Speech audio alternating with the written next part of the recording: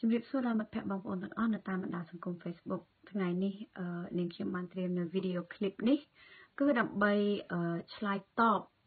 នឹងវីដេអូឃ្លីបដែលអតីតស្វាមីរបស់នាងខ្ញុំក៏បានបង្ហោះនៅក្នុងពេលថ្មីថ្មីនេះ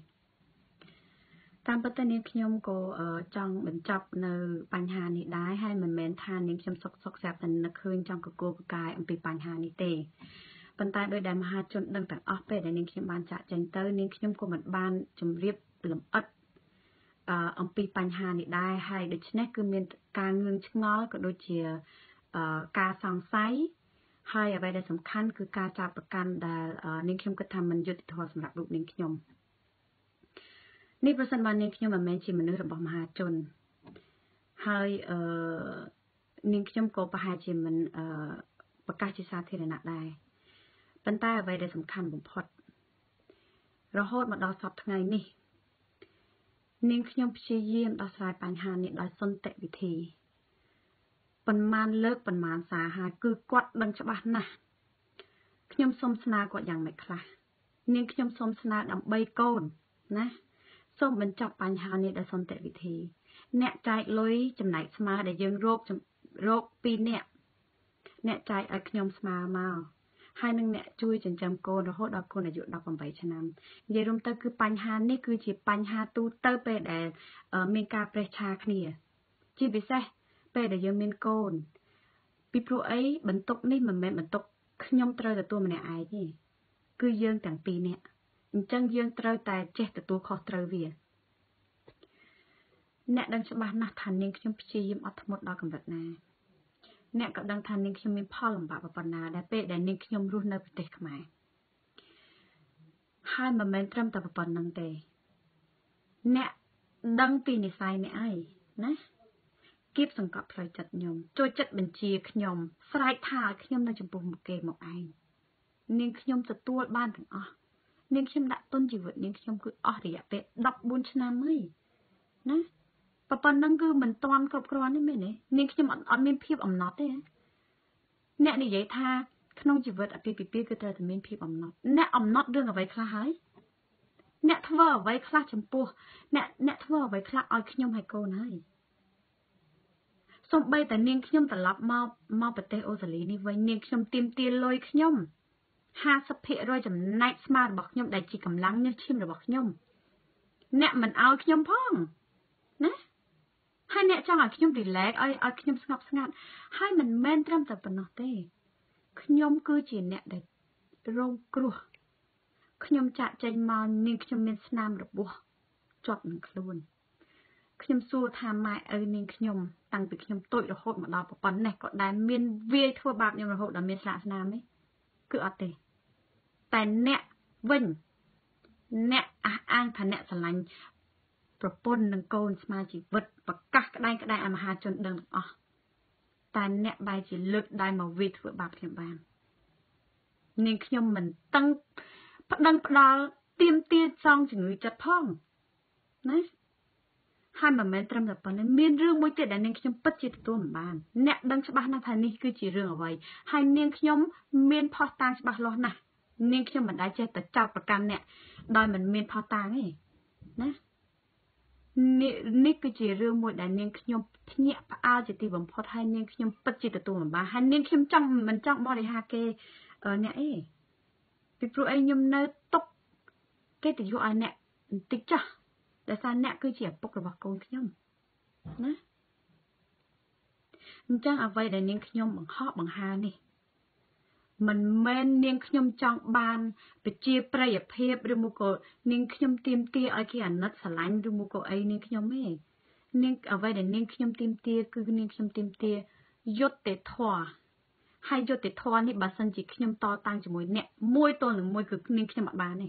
ដូច្នេះនាងខ្ញុំត្រូវតែឲ្យមហាជនជួយកាត់សេចក្តីឲ្យខ្ញុំនាងខ្ញុំគិតថាខ្ញុំលះបង់គឺវាវាសັບគ្រប់បែបយ៉ាងហើយណា ខ្ញុំត្រឡប់មកវិញមករស់នៅមួយកូនបាននាងខ្ញុំដឹងថាកូនឈឺចាប់ប៉ុណ្ណា កូនមិនត្រូវការលុយរបស់អ្នកទេ កូនត្រូវការភាពកក់ក្ដៅការងារអ្នកធ្វើចោះមិនមែនមិនអោយធ្វើទេយើងត្រូវការលុយមិនមែនយើងមិនត្រូវការទេដើម្បីជីវភាព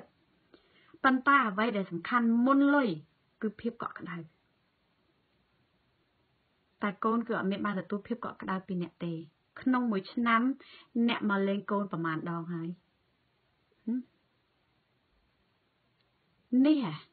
អ្នកនិយាយតំអូនតំអែអំពីភាពលំបាករបស់អ្នកអ្នកកំព្រាឪពុកម្ដាយអ្នកស្គាល់ពីភាពបាត់បង់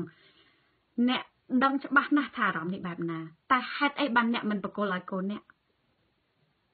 អ្នកចេះហាមាត់និយាយទៅរួចណាអ្នកនិយាយប៉ុន្តែអ្នកអត់អនុវត្ត វាខុសគ្នា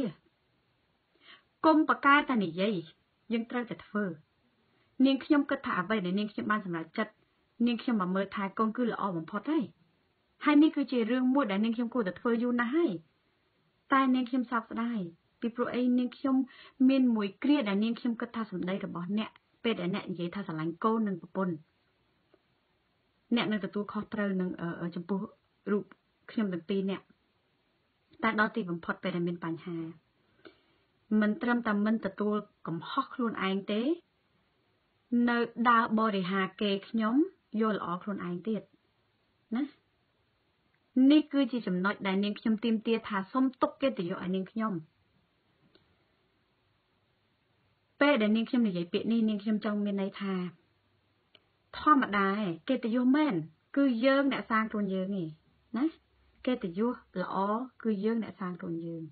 ប៉ុន្តែបើសិនជាត្រឹមតែយើងសាងខ្លួនយើងហើយវាល្អហើយនោះគឺលើលោកនេះគឺវាអត់មានភាពអយុត្តិធម៌ទេណាតែដែលសារវាមានមនុស្សមួយចំនួនដែលដើរទៅបរិហាគេរឿងមិនពិតបើរឿងពិតខ្ញុំអត់និយាយទេតែរឿងមិនពិតគឺដើរបរិហាគេដើម្បីល្អខ្លួនឯងនេះគឺជារឿងដែលនាងខ្ញុំទៀមទាទុកគេទៅយកឲ្យនាងខ្ញុំផងណា បញ្ហាមួយទៀតគឺបញ្ហាមិត្តភ័ក្តិអ្នកប្រាប់នាងខ្ញុំថានាងខ្ញុំមិនគួរណាអឺបង្ហោះបង្ហាអរគុណអ្នកនេះអរគុណអ្នកនោះ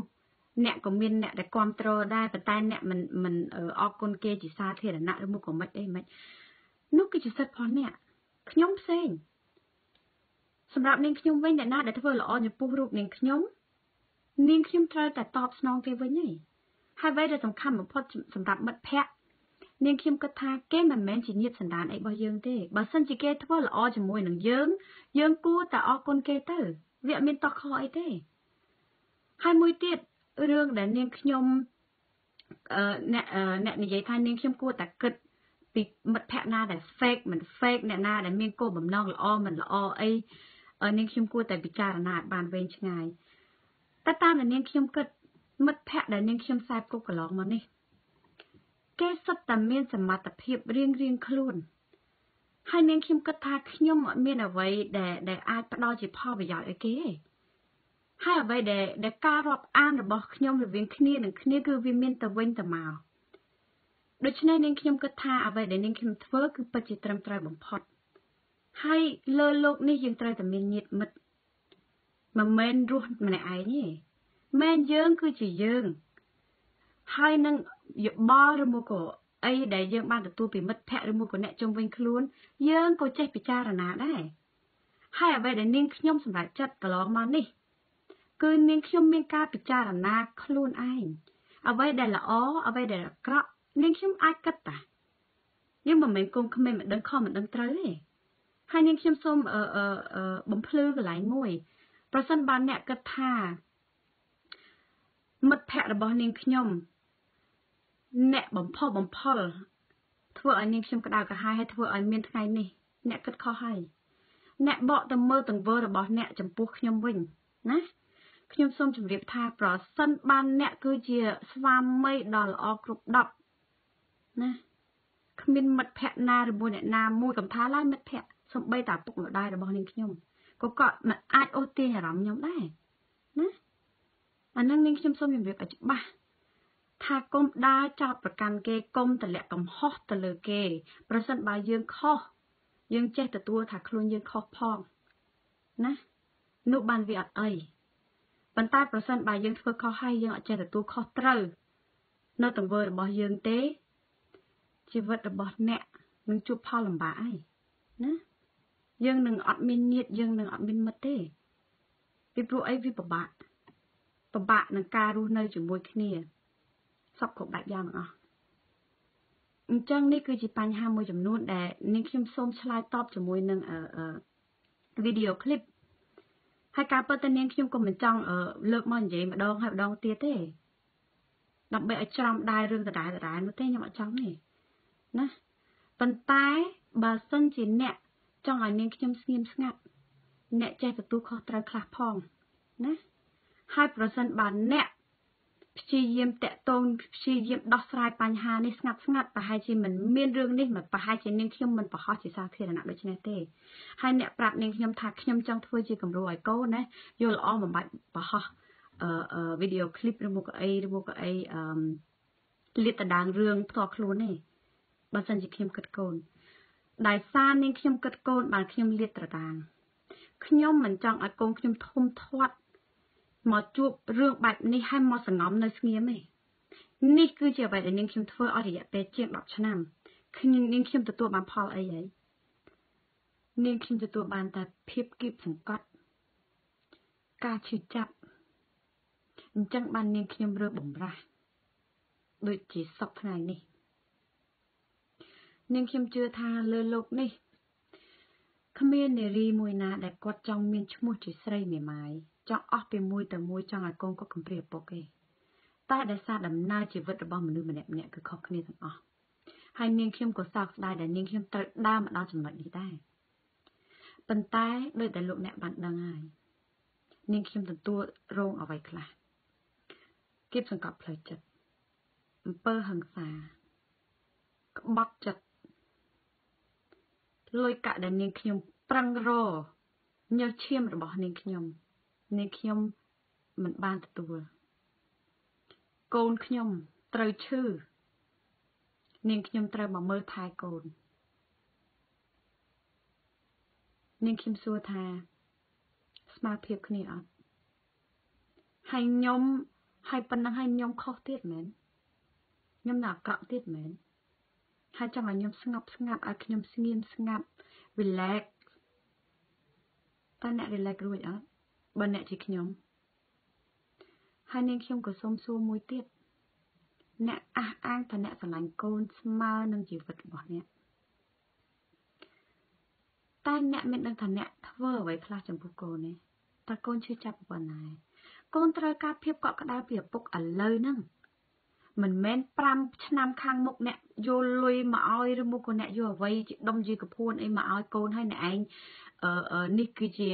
អ្វីដែលបញ្ជាក់ថា អ្នកគឺជាឪពុកដ៏ល្អឯងអ្នកបានបំពេញកាតព្វកិច្ចជាឪពុក បានល្អ perfect ទេអត់ទេណាកូនអាយុ14ឆ្នាំហើយប្រហែលឆ្នាំទៀតគ្នាធំពេញវ័យហើយគ្នាមានជីវិតរបស់គ្នាគ្នាអត់មានពេលអីណាមកសាងអនុស្សាវរីយ៍ជាមួយអ្នកតទៀតទេនាងខ្ញុំសម្រាប់ចិត្តត្រូវហើយដែលនាងខ្ញុំត្រឡប់មករស់នៅជាមួយកូននាងខ្ញុំគិតថាចង់លែតផង ពីព្រោះអីកូនក្នុងមួយឆ្នាំធំម្ដងបន្តិចម្ដងបន្តិចណាអញ្ចឹងបាននេះបានខ្ញុំបង្ហាញឥឡូវនេះគឺខ្ញុំបង្ហាញអស់ហើយថាការសម្រេចចិត្តរបស់ខ្ញុំដែលនាងខ្ញុំដើរចេញដោយមិនងាកក្រោយដោយមិនស្ដាយសំណោះមិនថានាងខ្ញុំការងារអាជីពរបស់នាងខ្ញុំកំពុងតែឡើងដល់កម្រិតណានាងខ្ញុំសុខចិត្តលះបង់ទាំងអស់ខ្ញុំដើរចេញខ្ញុំសុខចិត្តកសាងជីវិតថ្មី ម្នាក់ឯងសរុបសេចក្តីទៅនាងខ្ញុំគិតថាកើតមកជាមនុស្សពេលដែលយើងបានធ្វើអ្វីមួយដែលខុសហើយយើងគួរតែចេះទទួលខុសត្រូវនៅទង្វើដែលយើងបានធ្វើកុំយកបញ្ហាផ្ទាល់ខ្លួនមកលើកបន្ទប់ឲ្យអ្នកនេះបន្ទោសអ្នកនោះពីព្រោះអីបើសិនជាគេមិនបានធ្វើអ្វីខុសទេ គេពិតជាមិនមិនសុខចិត្តទេ ពីព្រោះយើងខ្លួនយើង អ្នកសាងរឿងទាំងអស់នាងខ្ញុំគិតថាកន្លងមកនេះ នាងខ្ញុំធ្លាប់អនុគ្រោះ នាងខ្ញុំធ្លាប់លើកលែងឲ្យវាច្រើនរឿងណាស់មកហើយអញ្ចឹងនាងខ្ញុំបានដើរមកដល់ផ្លូវមួយដែលនាងខ្ញុំហត់នឿយនាងខ្ញុំពិតជាមិនអាចទទួលបានតទៅទៀតទេនេះហើយបាននាងខ្ញុំសម្រេចចិត្តជ្រើសរើសផ្លូវនេះហើយឥឡូវនេះនាងខ្ញុំក៏គិតថានាងខ្ញុំបានរៀបរាប់គឺបានវែងឆ្ងាយហើយគឺបានក្បោះក្បាយហើយដូច្នេះនាងខ្ញុំក៏សង្ឃឹមថាបញ្ហានេះគឺបញ្ចប់សព